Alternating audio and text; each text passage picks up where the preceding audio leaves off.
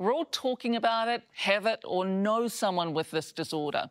Research shows almost 300,000 of us may have ADHD. But why is it so hard and so expensive to diagnose? Tonight, Jill Higgins meets the doctor who broke the rules of a system he says is broken, a doctor who now faces losing his career. Now, warning this story deals with difficult themes. Different people, different walks of life, but a feeling of being different. That is something they all share. I definitely process and experience the world differently to everyone else. They all have ADHD. I liken it to if you had a picture made of glass and you put a big nail in the middle and kind of went like that on it, and it just cracks it. That's my brain. Distractions, noise, inner thoughts all colliding. My, my mum would call me a walking time bomb. I was having panic attacks and they were really frightening. So if you were just going to wait on the public system... She said two years, two years minimum. I'm actually going to suck right. So why is it so hard to get help? Uh, I needed help. I didn't ask for it. I didn't know there was help. The current system for managing ADHD is broken. And why is this GP facing the end of his career for trying to fix it? You were willing to risk everything? Yes. I swore when I first became a, a doctor that, that my, I would look after my patients the very best I could.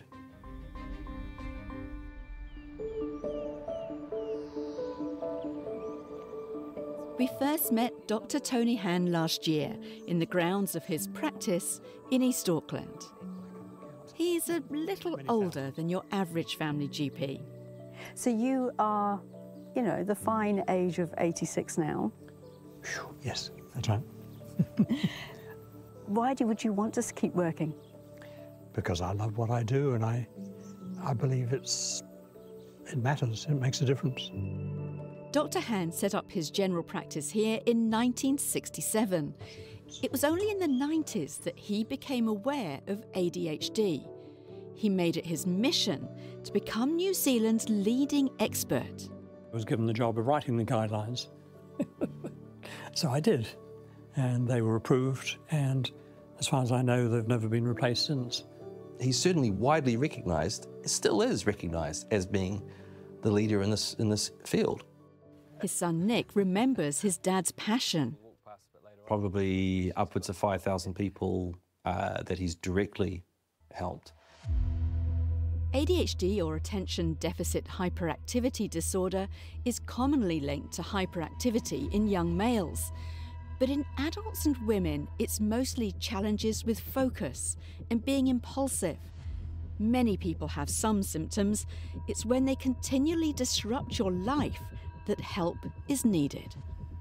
Well, the, point is there being consequences, you know, job loss or marriage loss or, or being locked up. Um, drug use, of course, was a big one.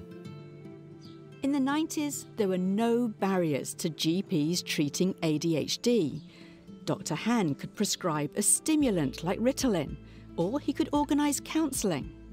I always emphasise it's not just a matter of taking the pills. And what kind of changes do you see? Well, huge. But you see people who, who are, are now confident to face the world, to face life. It's absolutely amazing. But at the end of that decade, a surge in cases in the US sparked fears stimulant use would get out of control. The bureaucracy began to make it harder and harder and harder. Dr. Han could diagnose anxiety and depression, but no longer ADHD, unless he found a psychiatrist to supervise. Dr. Alan Taylor, who specialised in ADHD, agreed, allowing Dr. Han to keep treating patients for years. Not only took their history, he would have them do various tests, questionnaires, uh, computer test for attention. Dr. Han saw he could address a serious need.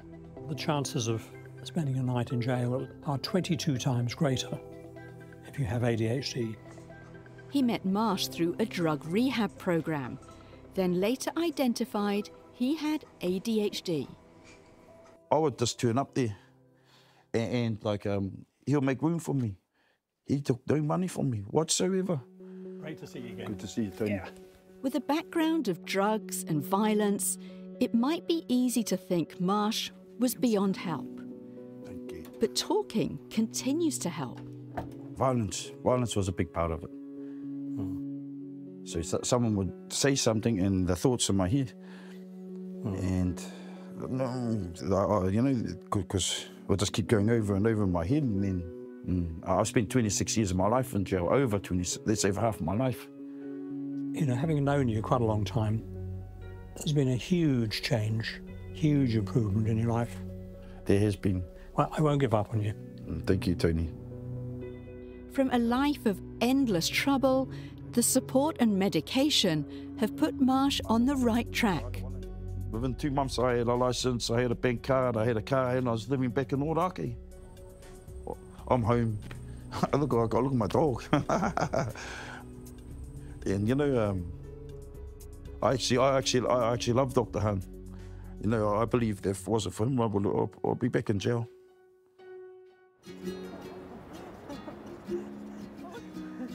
In Papamoa Bay of Plenty, Catherine Sylvester's life is very different. She has a nice house, husband, two great kids. Instagram perfect. And I look at my old Instagram, I'm smiling in them. I'm smiling, you know. But there is so much a camera can't reveal. It, that's the hands down darkest time in my life. I felt like nothing was going to help. ADHD in adults, especially women, hasn't been well understood. When your kids were young, my kids were young, and we are just like trying to figure out why something that like was so easy for everyone else just felt so hard. Catherine can now see there were warning signs as a teenager. E- eating issues, uh, yeah, drinking more, partying more. A, a really a great deal of that is self-medicating. Antidepressants didn't help. But recognizing ADHD type symptoms in her 20s, she went to see a psychiatrist. He said, "I don't, I don't think there's anything wrong with you. I think this is a normal person's mood range. This is yours." She muddled through for a decade until she became a mum. I literally didn't know where to start. The self narrative of that is you suck. You know, you can't even be on time, be organized, vacuum the floor, pick up the toys. So I would have a Red Bull and have another Red Bull. I'd have an, I had eight Red Bulls a day, a lot of chocolate, and then I put on a lot of weight, and then I felt really bad about myself. I felt afraid for my kids. What if I just lost it and left? You know, what, you know, when every day is that hard. The idea of ADHD came up again with a counsellor, but this time she was recommended Dr. Han. So that diagnosis from Dr. Han, what difference did that make to you? Night and day. It was life saving. It was like, yes, that makes sense. I make sense. And I can do something about it. She was given a prescription.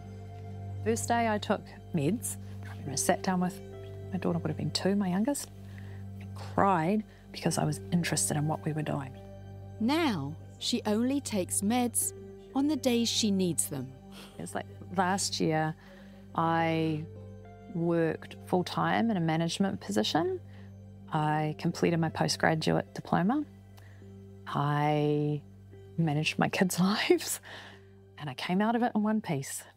There's just no way I could have done that without treatment. Like Catherine, many desperate patients came to this waiting room to see Dr. Han. The waiting room would be filled with people. But that lifeline was about to be put at risk. I mean, I knew it was coming. His supervising psychiatrist retired. He was 85. Uh, and I wrote to the Ministry of Health. I said, you know, I've got all these ADHD patients who are settled on medication. Can you, can you provide me with somebody? Silence. But Dr. Han wouldn't keep quiet. He wrote again. He said, I'm going to do this in my own name. And I did. You knew that it was a great risk Yes, for you. yes.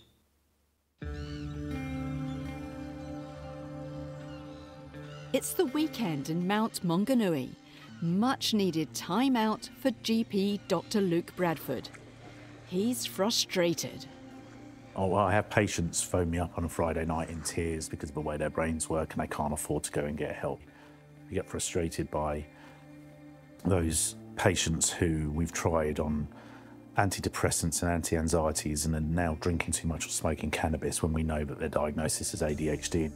He understands Dr. Han wanting change, but as medical director of the College of GPs, he doesn't support how Dr. Han tried to get it. because otherwise we are going to have cowboy operators go out there and, and pick and choose which rules they decide to stick to. Does that mean the regulations were right? No. The regulations are stupid. Dr. Han knew he was breaking the rules, and others started to notice too. They were all asking, you know, what's, what's going on here, what's going on? Then, an official complaint. The first one was a pharmacist who um, complained to the Ministry of Health saying, We've got this prescription, but you haven't got the psychiatrist's approval. And then finally in 2018, there's this ultimatum from the medical council. You know, and they said to my father, you either stop now or you face the repercussions.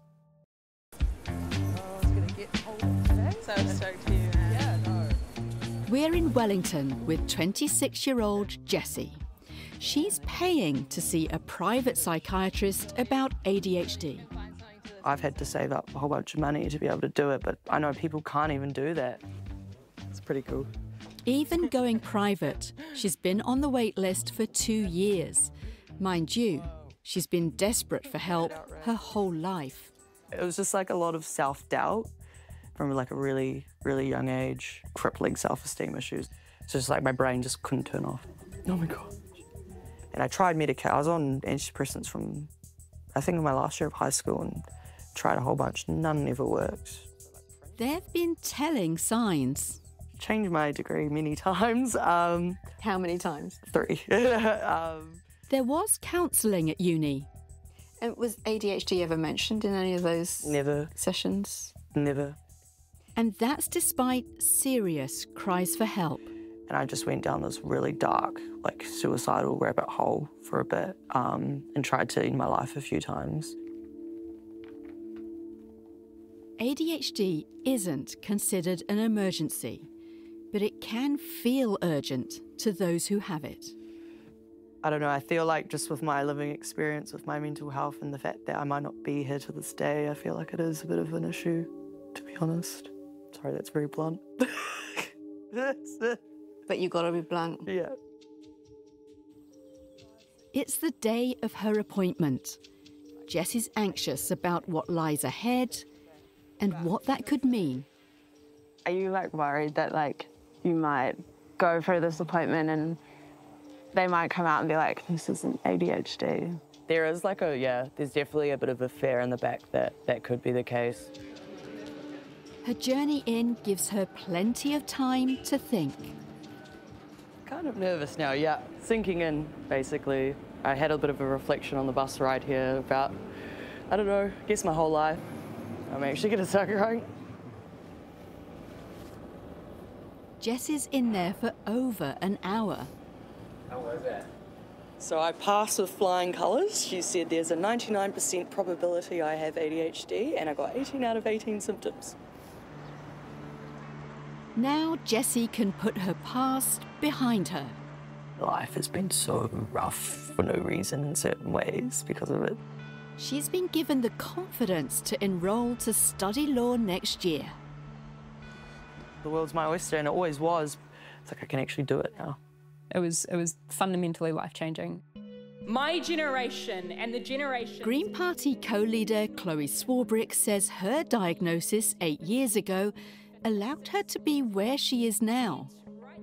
It allowed me to reorient my sense of self.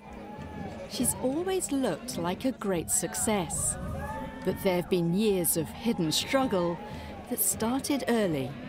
The wheels started falling off a little bit as I got into my teenage years and my brain not working in the way that I guess suppose other people's did. Drinking to excess uh, to just, I guess, try and quiet my head. Doctors confirmed it was ADHD.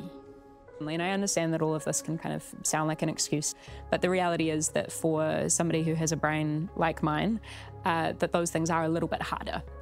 Chloe's helping to drive change. We have now a system which is just massively out of date. So we pulled together with ADHD NZ, uh, the Royal Colleges of Psychiatrists, Psychologists, Paediatricians, the police came, um, we had Pharmac there, Te Whatu Ora, the Ministry of Health, uh, and got, I believe, five to six commitments around necessary changes to improve access. Oh, yeah. Including a bigger role for family GPs. College of GPs medical director Dr. Bradford says most doctors welcome the idea of select GPs getting specialist training. It would be a win for patients because they'd have access to quicker and more affordable diagnosis. It would be a win to society because we'd see less burdens on the education system, on the benefit system, and on the prison service. There's huge support for it, but the wait continues. So, uh, what kind of time frame are we talking about? Well, I'm not in charge, but if I were, it would happen tomorrow.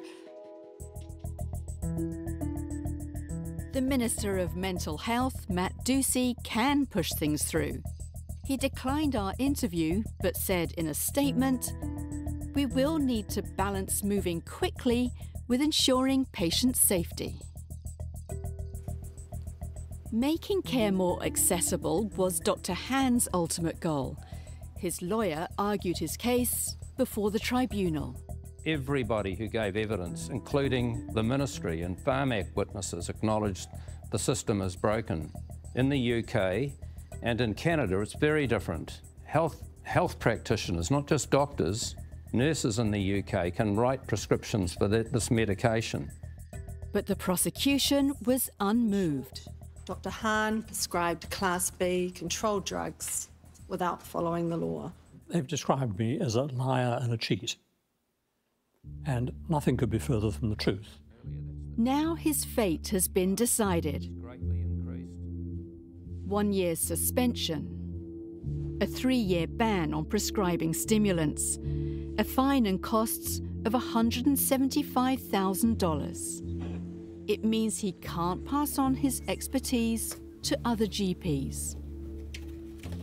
It feels disappointing because it's just part of what I want to do with the rest of my life.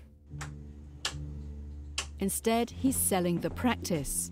His patients have to go elsewhere. I reckon it's sad. Uh, you know, um, I, I reckon it's shameful.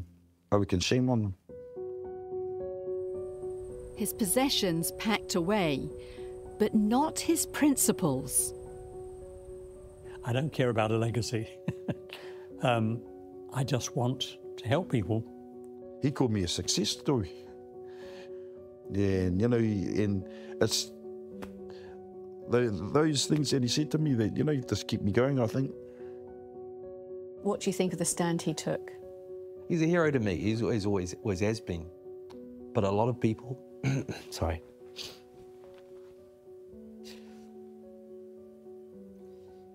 a lot of people have um, looked to him really like a father because very few people have necessarily had the understanding and the support around ADHD throughout their lives. And I guess for them, finally, they found someone who really did get their story. I just want to help people. I want to make a difference in people's lives. And I will continue, keep on trying to do that to my last breath. Well, Dr. Han intends to appeal the medical tribunal's decision so he can work with other GPs in the event of a change to the system.